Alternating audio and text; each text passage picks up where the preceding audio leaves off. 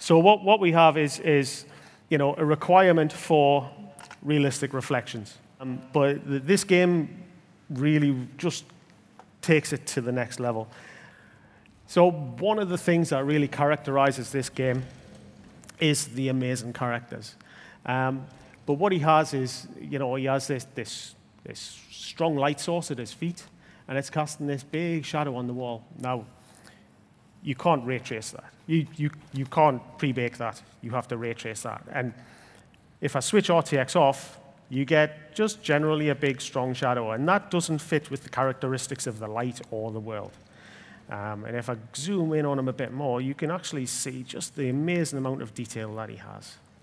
So if I go over here, you actually see that all that detail is correctly reflected, including the shadow, in this parabolic mirror. So if I look across here, you can actually see in the surface of, of the bomb that he is actually correctly reflected and the shadows are fully intact. So a little wander through this amazing world. You know, this has an absolutely beautiful aesthetic. Um, you know, there's some real artistry in here. Now, this guy, again, he has a strong light.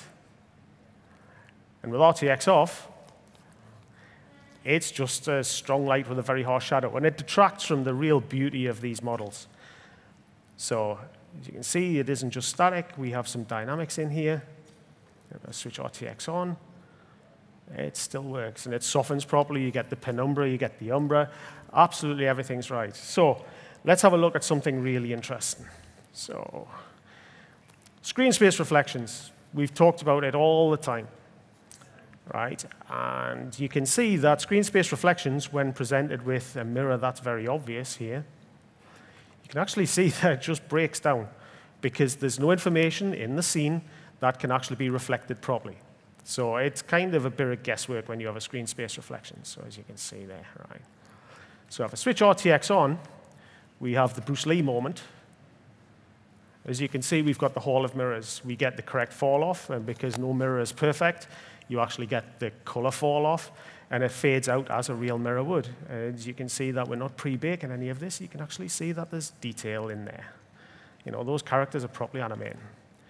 So just to prove that it really is a mirror, you know, again, they, you know, we, are, we have these characters across here. So people might say that, that real mirrors, you know, that, that could possibly, possibly be hacked, right?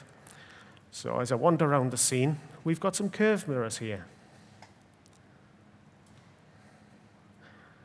Okay, and you can see that they're just, you know, they're breaking down, you know, they're not, not quite right. You know, the, the graphics are still beautiful, but they're not quite right. Now, if I switch RTX on, we what we have here is we have multiple interreflections from two curved mirrors bouncing off each other.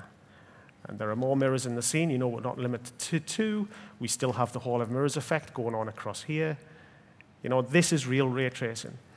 And th these are two convex mirrors. Now, on the other side of a convex mirror, we also have a concave mirror, and that reflects correctly what is going on across this side of the room. So, as you can see, we've got gorgeous shadows going on down here, the proper penumbra, the proper umbra, and even the smallest little details of this little guy down here, I mean, he, he's just awesome. It's like you can't help but fall in love with these characters. And with that, I'd like to thank you. And uh, I think Mundfish have done an amazing job with this.